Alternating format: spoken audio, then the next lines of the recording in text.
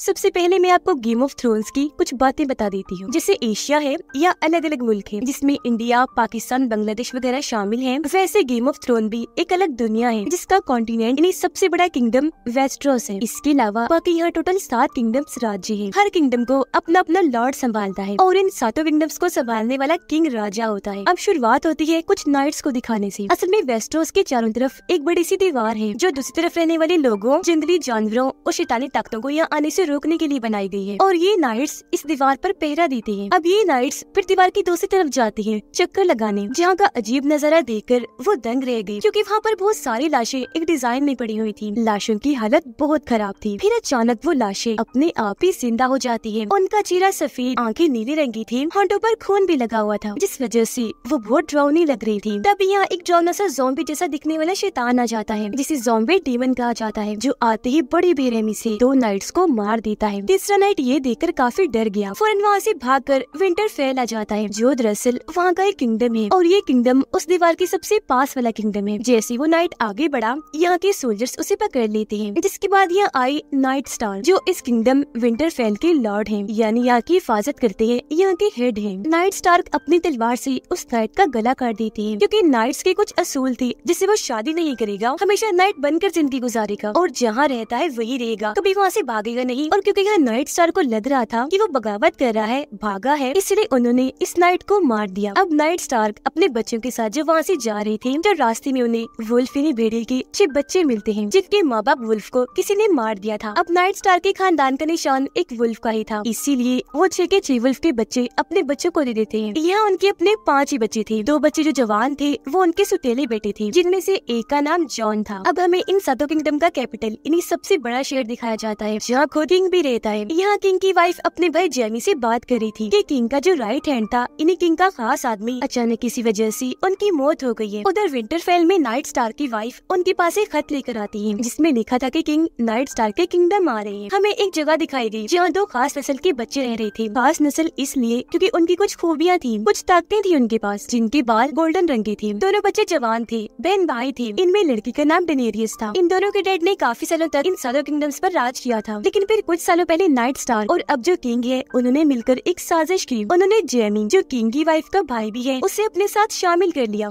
जिस पर जेमी ने डेनेरियस के डेड राजा को मार दिया, क्योंकि वो उनका गार्ड हुआ करता था उस टाइम और अब अपने डैड का बदला लेने के लिए डेनेरियस का भाई अपनी बहन की शादी किंगडम्स के सरदार से करवाना चाहता है, क्योंकि उसका मानना था कि अगर मेरी बहन डेनेरियस की शादी सरदार से हो गई तो उसकी इतनी बड़ी फौज मेरी हो जाएगी, जिसके बाद मैं कैपिटल शेयर पर हमला करके सभी किंगडम्स का राजा बन जाऊँगा। उधर किंग नाइट स्टार की किंगडम आ ही जाती है। किंग के आते ही सभी लोग इज़्ज़त में उनके सामने झुक जाती है। यहाँ हमें किंग की वाइफ का एक और भाई दिखाया गया। लेकिन वो बोना था, जिसे राजा की वाइफ खास पसंद नहीं करती थी। लेकिन उनका जो भाई था जेमी वो उसे बहुत प्यार करता था। किंग यहाँ इसलिए आई थी ताकि वो नाइट स्टार को अपना राइट हैंड खास आदमी बना ले। यहाँ हमें पता चला की किंग नाइट स्टार की छोटी बहन ऐसी शादी करना चाहती थी। लेकिन नाइट स्टार के बेटे को ये बात पसंद नहीं आई। इसीलिए उसने अपने डैड की बहन को अगवा करके पहले उसके साथ गलत किया और फिर उसे जान से मार दिया, जिस वजह से किंग को बहुत दुख हुआ। अब किंग नाइट स्टार की बहन से तो शादी नहीं कर सके, लेकिन अब अपने बेटे की शादी नाइट स्टार की बेटी से करवाना चाहते हैं। डेनेरियस की शादी सरदार से हो ही गई, लेकिन सरदार का बर्ताव डेनेरियस के साथ खास अच्छा नहीं था। वो उसके साथ काफ़ी बुरा पेश आता था, लेकिन फिर भी दोनों ज़िंदगी गुजार ही रहे थे। लेकिन क्योंकि डेनेरियस को सरदार की ज़ुबान समझ नहीं आती थी, इसीलिए वहाँ के लीडर डेनेरियस को तीन तोहफे देता है। पहली चीज़ थी तीन किताबें, जो यहाँ की ज़ुबान की थी। दूसरा था एक आदमी, जो अब से डेनेरियस का ट्रांसलेटर बनेगा, यानी वो इन लोगों की ज़ुबान का तर्जुमा करके डेनेरियस को बताया करेगा। और तीसरी चीज़ थी तीन ड्रैगन के अंडे, जो काफ़ी बड़े थे, लेकिन वक्त के साथ साथ पत्थर जैसी बन गए थे।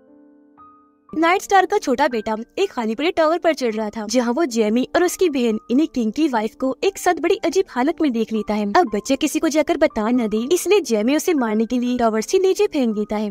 अपने हस्बैंड सरदार की ज़ुबान सीख रही थी, साथ ही साथ उसकी अपने हस्बैंड से ताल्लुक भी अच्छी हो गई थी। नाइट स्टार का बेटा टावर पर से गिरने की वजह से मरता तो नहीं, लेकिन कोमा में चला जाता है। लेकिन फिर भी नाइट स्टार अपनी दोनों बेटियों को लेकर कैपिटल शहर जा रही थी, जबकि उनका सुतेला बेटा जॉन नाइट बनने के लिए उस बड़ी सी दीवार के पास पास जा रहा था। अब बोने से किंग का बेटा बदतमीजी करने लगा, जिस वजह से बोने ने उसे तीन थप्पड़ लगा दिए। पास खड़ा हुआ एक आदमी, जो दरअसल नाइट स्टार का सोल्जर था, वो सब देख रहा था और इसका चेहरा जला हुआ था। अब नाइट स्टार की वाइफ से मिलने मिनिस्टर आते हैं। गेम ऑफ़ थ्रोन में मिनिस्टर काफ़ी पढ़े लिखे इंसान को कहा जाता है, जो डॉक्टर साइंटिस्ट सभी का काम करते हैं और वो इनकी फैमिली के खास मिनिस्टर थे। उनके जाने के बाद जॉन यहाँ आता है, क्योंकि वो भी जाने वाला था। वो यहाँ अपने सुतीले भाई, जो कोमा में जा चुका था, उससे मिलने आया था। यहाँ हम साफ़ साफ़ देख पाते हैं कि नाइट स्टार की वाइफ उसे खास पसंद नहीं करती थी। लेकिन जॉन अपने बहन भाइयों से प्यार करता था। बेशक वो सुतीले ही क्यों ना थे। जिसके बाद में वो अपनी छोटी बहन के पास जाकर उसे छोटी सी तलवार गिफ्ट करता है, क्योंकि वो आम बच्चियों जैसी नहीं थी, बल्कि खास थी। उसे भी वॉरियर बनना था। बचपन से ही वो बहादुर थी। जिसके बाद जॉन नाइट बनने अपने रास्ते पर और नाइट स्टार अपने रास्ते पर निकलने लगती है। जाते जाते जॉन उनसे अपनी मोम के बारे में पूछता है की, मेरी असल मोम कहाँ है और वो कौन थी? नाइट स्टार कहती है की, जब तुम सफ़र ऐसी लौटोगी तो मैं तुम्हें, तुम्हारी माँ के बारे में बता दूँगा। नाइट स्टार्क और किंग जब एक जगह बैठी थी तो तभी किंग को एक खत मिला, जिस पर लिखा था कि डिनेरियस और सरदार की शादी हो गई है। जो सुनकर किंग को इतना गुस्सा आया कि वो डिनेरियस को मारने के लिए कहता है, पर नाइट स्टार्क उनकी इस बात से सहमत नहीं होते और मना कर देते हैं। सफ़र में जॉन के साथ बोना भी जा रहा था, क्योंकि वो दीवार के पास जा रही थी, इसलिए वो भी दीवार को करीब से देखना चाहता था। यहाँ कुछ क्रिमिनल्स इन्हें मुजरिम भी साथ जा रही थी क्योंकि वो नाइट्स बन के साथ जाने वाली थी। अब किंग का बेटा और नाइट स्टार की बेटी आपस में बातें कर रही थी, क्योंकि आगे चल के उनकी शादी होने वाली थी। लेकिन यहाँ किंग का बेटा देखता है कि नाइट स्टार की छोटी बेटी एक गरीब लड़के के साथ तलवार से खेल रही है। जो चीज़ उसे बिल्कुल अच्छी नहीं लगी, वो अपनी तलवार लेकर उस लड़की के चेहरे पर कट लगा देता है। ये देखकर बच्ची को गुस्सा आ गया, क्योंकि वो गरीब लड़का उसका दोस्त था। इसलिए वो किंग के बेटे, जिसके साथ उसकी बहन की शादी होने वाली थी,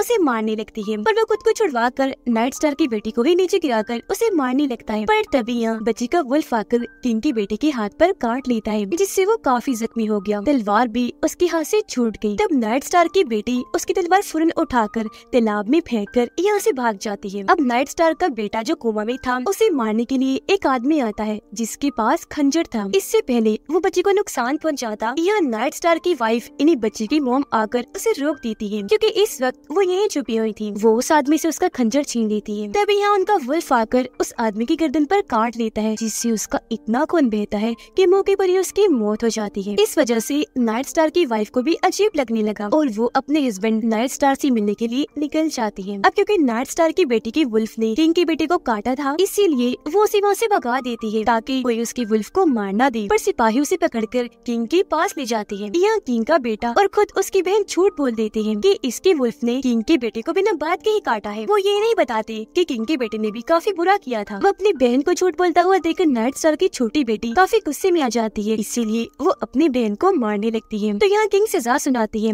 कि नाइट स्टार की छोटी बेटी का जो वुल्फ है, उसे मार दिया जाए। पर क्योंकि उसने तो पहले अपने वुल्फ को भगा दिया था तो किंग कहते हैं तो फिर उसकी बड़ी बहन की वुल्फ को मार दो। इसीलिए अब नाइट स्टार को जाकर अपनी बड़ी बेटी की वुल्फ को मार देते है। कुछ ही देर में नाइट स्टार कैपिटल शहर पहुँच जाते हैं, जहाँ उन्हें मिलने के लिए कौंसिल बुलाया जाता है। यहाँ उनकी मुलाकात किंग के भाई एक लॉर्ड जो सारा बिज़नेस संभालते हैं उनसे, और एक रिपोर्टर लॉर्ड से होती है, जिन्होंने अलग अलग जगह पर अपनी खबरें छोड़े हुए थी, जो सारी जानकारी लाकर किंग को देती है। एक बूढ़ा आदमी भी उनसे मिलता है, जो यहाँ के मास्टर है। अब डिनेरियस को पता चलता है की वो माँ बनने वाली है, और उसका जो ट्रांसलेटर है, वो सारी खबरें किंग तक पहुँचाता है। कद के ज़रिए उसने किंग को बताया था की डिनेरियस की शादी सिरदार ऐसी हो गई है। जॉन भी दीवार के पास पहुँच गया था, जो यहाँ नए बनने वाली वॉरियर्स योद्धा को तलवारबाजी सिखा रहा था। उसके अंकल इन्हें नाइट स्टार के भाई उसे बताते हैं कि मैं दीवार की दूसरी साइड पर जा रहा हूँ, क्योंकि मैं एक रेंजर हूँ और एक रेंजर ही चक्कर लगाने, छानबीन करने, दीवार के उस पार जा सकता है। अब विंटरफेल में नाइट स्टार की उस बेटे की आँख खुल जाती है, जो कुमा में चला गया था। होश में आने पर उसे पता चलता है कि मेरी दोनों टांगे खराब हो गई है। उसे तो ये तक याद नहीं था कि मुझे टावर से गिराया किसने था। नाइट स्टार की वाइफ कैपिटल शहर पहुँच जाती है, जहाँ उनके हस्बैंड थे। वो यहाँ आकर लॉर्ड से मिली, जिसके साथ वो बचपन में रहा करती थी। बचपन में ये लॉर्ड उन्हें पसंद करता था। नाइट स्टार की वाइफ को लगता है कि वो आज भी मुझे पसंद करता है। इसीलिए वो उस पर गुस्सा करती है, क्योंकि वो तो उसे अपना छोटा भाई समझती थी। अब थोड़ी ही देर में यह नाइट स्टार भी आ जाती है। उनकी वाइफ उन्हें वो खंजर दिखाती है, जिसके ज़रिए उस आदमी ने उनके बेटे पर हमला करने की कोशिश की थी। ये खंजर बहुत ही खास और महँगे स्टील से बना था। इस स्टील को गेम ऑफ़ थ्रोन में बहुत कीमती माना जाता है। यह लॉर्ड बताता है कि ये खंजर तो होने का है, यानी किंग की वाइफ के भाई का। पर इन चीज़ों में ज़्यादा ना पड़े, इसलिए नाइट स्टार अपनी वाइफ को वापस किंगडम विंटर फेल भेज देते हैं। साथ ही नाइट स्टार्क अपनी छोटी बेटी को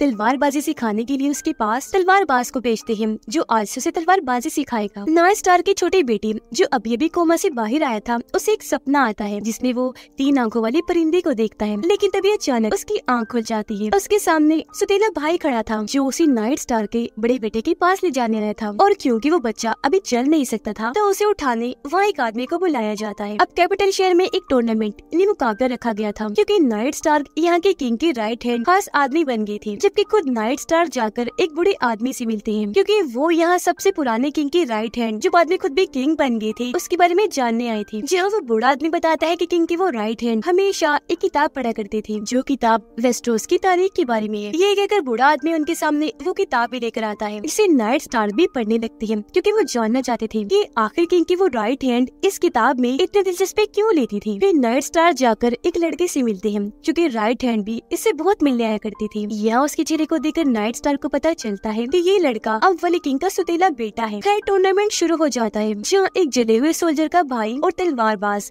एक दूसरे के मुकाबले में आते हैं। इनका मुकाबला था कि दोनों ने एक दूसरे को घोड़े पर से गिराना है, और जो भी पहले घोड़े से गिर गया, वो हार जाएगा। जिसने गिराया होगा, वो जीत जाएगा। अब यहाँ जले हुए सोल्जर का भाई बहुत खतरनाक था, क्योंकि अपने भाई का चेहरा इसने ही चलाया था। जैसे उनका मुकाबला शुरू हुआ सोल्जर का भाई तलवार की सीधा गर्दन पर रॉड देकर मारता है, जिससे वो इतना जख्मी हो गया कि फ़ौरन नीचे गिर जाता है। तेज़ी से उसका खून बहने लगा, जिस वजह से तलवार बाज की वही मौत हो जाती है। नाइट स्टार की वाइफ जब विंटरफेल जाने के लिए निकलने लगी तो वहाँ उन्हें बोला दिख जाता है। इसीलिए वो अपने सिपाहियों को कहकर उसे पकड़वा लेती है। अब टूर्नामेंट में अगला मुकाबला एक प्रिंस राजकुमार और जले हुए सोल्जर के भाई के बीच में था। जैसे मुकाबला शुरू हुआ, तलवार मारकर प्रिंस उसे बड़ी आसानी से नीचे गिरा देता है। अब क्योंकि सोल्जर का भाई हार गया था, इस वजह से उसे इतना गुस्सा आया कि वो फ़ौरन खड़ा होकर प्रिंस को मारने लगा। अपने भाई की इस हरकत पर जले हुए सोल्जर को बहुत गुस्सा आया। वो जल्दी से मैदान में आकर अपने भाई को रोकता है। उससे लड़ने लगा। ये चीज़ देखकर किंग को बहुत गुस्सा आया। वो फ़ौरन उठ खड़ी हुई चिल्लाकर उन्हें लड़ाई बंद करने को कहती है। तब सोल्जर का भाई गुस्सा होकर वहाँ से चला जाता है। नाइट स्टार जब रिपोर्टर लॉर्ड से बात करती है तो यहाँ उन्हें बहुत बड़ी जानकारी मिलती है। रिपोर्टर लॉर्ड बताते हैं कि सबसे पहले किंग की राइट हैंड, जिसके बारे में अब जानकारी इकट्ठा कर रही है, उनकी मौत कुदरती तौर पर नहीं हुई थी। बल्कि उन्हें जहर देकर मारा गया था। नाइट स्टार की बेटी बिल्ली का पीछा करते करते एक काफ़ी बड़े केव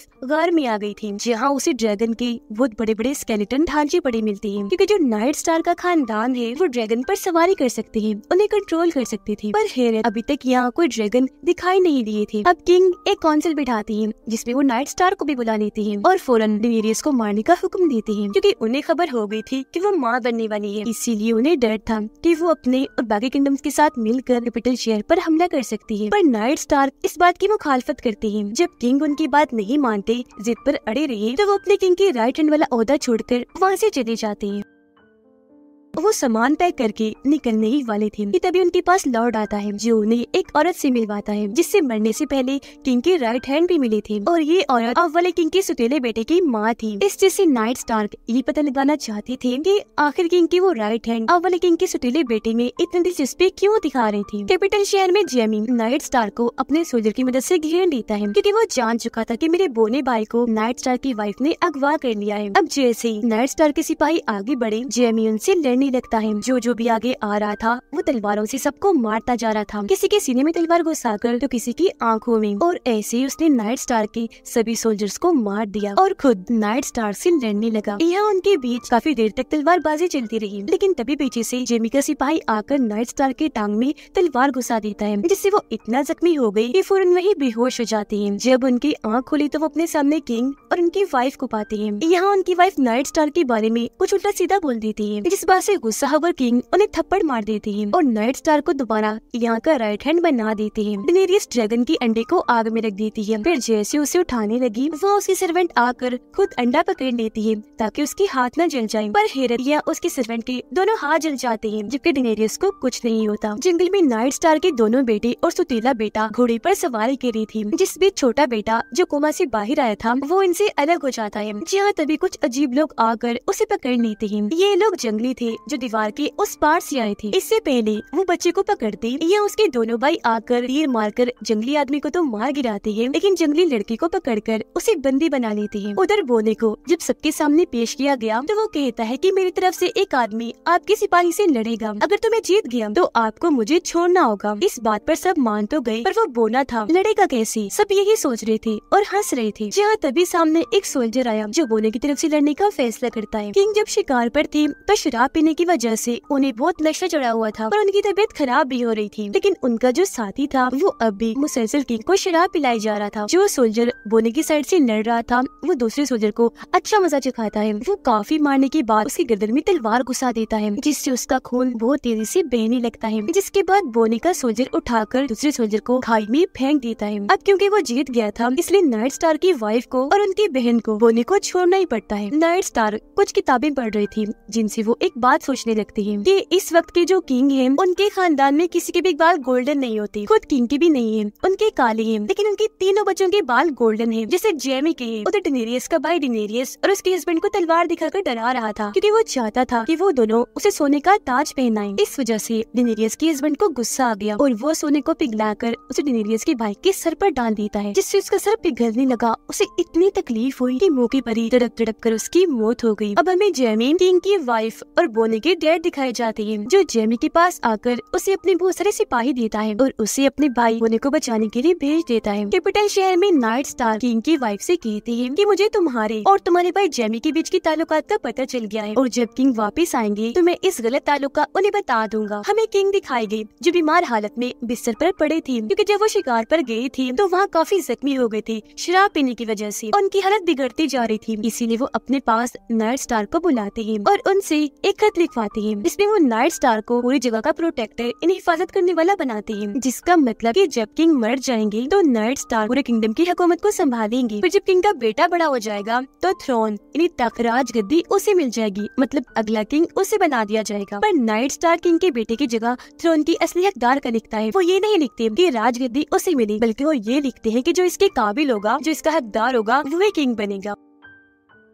उधर दीवार के पास लॉर्ड कमांडर जो उनको अपना सर्वेंट बना लेता है, जो आज की बात उनकी सेवा करेगा, उनके लिए खाना बनाएगा, जो बात जो उनको काफ़ी बुरी लगी, क्योंकि वो एक रेंजर बनना चाहता था। कैपिटल शहर में नाइट स्टार्क लॉर्ड को अपने पास बुलाते हैं। कहने लगे यहाँ के जो शांति वाले लोग हैं इन जो सुकून रखने का काम करते हैं, उनको बोलो, अब वो मेरा साथ दे। इसके बाद नाइट स्टार को थ्रोन वाले कमरे में किंग का बेटा बुलाता है, जहाँ उसे पता चल गया था की मेरे डैड इन्हें किंग मारे गए है, और अब मैं ही वहाँ का किंग हूँ। इसलिए वो राजगद्दी संभाल लेता है। लेकिन तभी यहाँ नाइट स्टार किंग के गार्ड को किंग का लिखवाया गया। आखिरी खत दिखाती है, जिसमें लिखा था कि नाइट स्टार इस हुकूमत की प्रोटेक्टर तब तक रहेंगी जब तक कि किंग का बेटा बड़ा नहीं हो जाता और थ्रोन राजगद्दी, हकदार को ही मिलेगी। पर किंग की वाइफ इस खत पर सहमत नहीं होती। खत को फाड़ देती है। ये देखकर नाइट स्टार वहाँ खड़े शांति वाले लोगों को किंग की वाइफ और उसके भाई जेमी के बीच के ताल्लुकात के बारे में बता देते हैं। पर इस बात से शांति वाले लोगों पर उल्टा ही असर होता है। ये सुनकर उन्हें गुस्सा तो आया, पर उन्होंने नाइट स्टार के सिपाहियों पर ही हमला कर दिया। एक एक करके सबके अंदर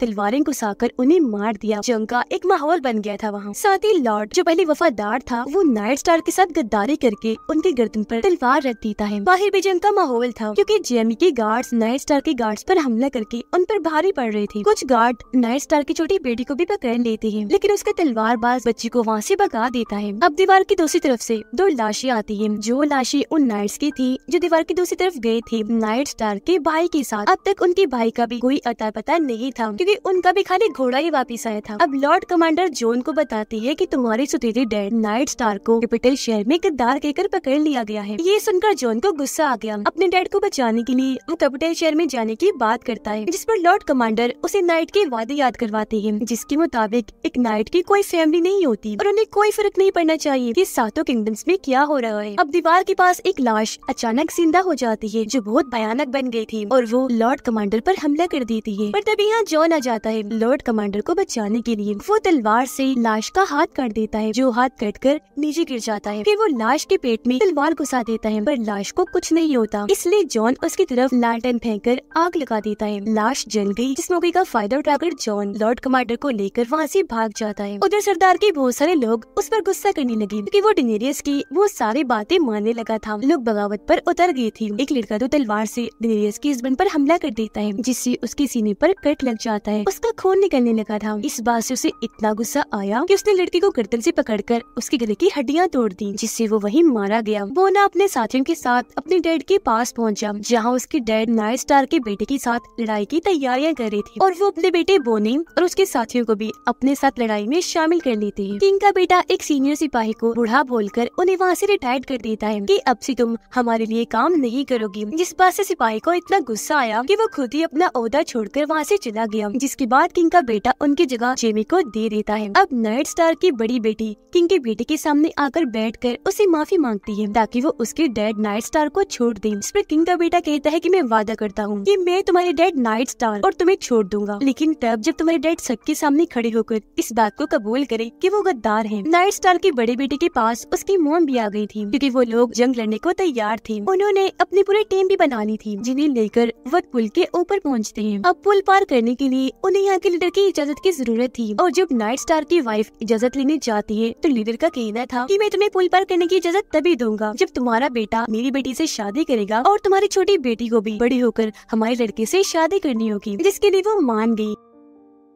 तब लीडर भी पुल पार करने की इजाज़त दे देता है। लॉर्ड कमांडर की जो ने क्योंकि जान बचाई थी, इस वजह से वो उससे बहुत खुश थी और उसे अपने खानदानी सबसे पुरानी खास लोहे की तलवार देती है। इनाम के तौर पर टेनेरियस के हस्बैंड की छाती पर जहाँ तलवार लगी थी, उस वजह से वो इतना जख्मी था कि उसकी हालत खराब हो रही थी। वो इतना कमज़ोर हो गया कि अपने घोड़े से ही नीचे गिर जाता है, जो देखकर उसके लोग उल्टी उल्टी बातें बनाकर गद्दारी करने का सोचते हैं, क्योंकि ये लोग उससे अपना सरदार मानते हैं जो ताकतवर हो, न कि कमज़ोर। ये देखकर टेनेरियस वहाँ की एक औरत से मिलती है, जो जादूगरनी थी। क्योंकि जादू वगैरह जानती थी। उसी डिनेरियस अपने हस्बैंड को बिल्कुल ठीक करने का कहती है। जादूगरनी कहती है कि मैं तुम्हारे हस्बैंड को ठीक तो कर दूँगी, पर इसके बदले में तुम्हें एक जान देनी पड़ेगी, वरना ये मर जाएगा। जिसके बाद वो सरदार के घोड़े को वहाँ बुलाकर अपने हाथों से ही उसे मार देती है। अगले दिन जेमी की डैड के कैंप पर हमला हो गया। उन्होंने दूसरी फौज का काफ़ी बहादुरी से सामना करके इस जंग को जीत लिया। पर उन्हें पता चला, ये तो नाइट स्टार के बड़े बेटे की चाल थी। उसने सिर्फ़ दो हज़ार सिपाही यहाँ भेजे थे हमला करने के लिए। ताकि उनका ध्यान भटके और खुद वो जाकर जेमी को पकड़ ली। होता भी बिल्कुल ऐसा ही है। नाइट स्टार का बेटा जेमी के सिपाही को बड़ी आसानी से हराकर आखिर में जेमी को भी पकड़ लेता है। उसे जख्मी करके बंदी बना लेता है। कैपिटल शहर में नाइट स्टार अपने बेटियों को बचाने के लिए किंग के बेटे की बात पर राज़ी हो जाती है और सबके सामने आकर खुद को गद्दार मान ही लेते हैं। पर किंग का बेटा जो बहुत बेईमान था, वो वादा खिलाफी कर देता है। अभी भी उन्हें माफ़ नहीं करता, बल्कि अपने सिपाही को कहकर उनका सर कलम करवा देता है। इसलिए कि वो गद्दार है और इस तरह उनकी मौत हो जाती है। भीड़ में खड़ी ये सब कुछ नाइट स्टार की बेटी भी देख लेती है। उसे बहुत दुख हुआ, पर तभी उसके अंकल उसे भीड़ में से साइड में ले जाकर उसके बाल काट देती है ताकि कोई उसे पहचान न सके और उसकी जान बच जाए। नाइट स्टार की बेटी और उसकी वाइफ को भी पता चल गया था कि किंग के बेटे ने उन्हें मरवा दिया है, जिस बात से दोनों को काफ़ी दुख हुआ। उसका बेटा तो गुस्से में और दुख में जैसे पागल हो गया था। अब नॉर्थ के सारे सिपाही नॉर्थन एरिया को बाकी किंगडम से अलग कर देते हैं और अब यहाँ का नया किंग वो नाइट स्टार के बेटे को बना देते हैं। और टेनेरियस का बच्चा मरा हुआ पैदा होता है, क्योंकि ये सब कुछ उस जादूगरनी ने किया था, जिस वजह से उसका बच्चा मरा हुआ पैदा हुआ, लेकिन उसके हस्बैंड की जान बच गई। टेनेरियस जब अपने हस्बैंड के पास जाती है तो उसकी सिर्फ़ आँखें खुली थी, न वो बोल सकता था, न ही हिल सकता था, यानी वो बिल्कुल एक ज़िंदा लाश की तरह था। पता चलता है की ये सब कुछ उस जादूगरनी ने जान के किया था, क्यूँकी उसका हस्बैंड यहाँ के लोगों को परेशान किया करता था। अब क्योंकि वो ज़िंदा लाश था तो ना चाहते हुए डिनेरियस उसके ऊपर तकिया रखी खुद उसे जान से मार देती है, फिर उसकी लाश को जलाने की सारी तैयारियाँ कर देती है। वो ड्रैगन के अंडों को भी आग में रख देती है और खुद भी उसमें बैठ जाती है। काफ़ी टाइम के बाद जब आग बुझ गई तो लोग वहाँ चेक करने के लिए आए जहाँ हम बड़ा ही हैरान करने वाला सीन देखते हैं। आग की वजह से उसके सारे कपड़े जल गए थे पर डिनेरियस को जरा भी कुछ नहीं हुआ था। और तो उसके तीनों अंडों में से ड्रैगन निकल कर बाहर आ गए थे, जो डिनेरियस के कंधे पर आकर बैठ जाते है। ये देखकर ट्रांसलेटर काफ़ी हैरान रह गया। वो और कुछ लोग वहाँ डिनेरियस के सामने घुटनों के बल बैठ गई उसके सामने झुक जाती है, क्योंकि वो जान गए थे कि डिनेरियस बहुत खास है और इसी के साथ पहला सीज़न इधर ही खत्म हो जाता है।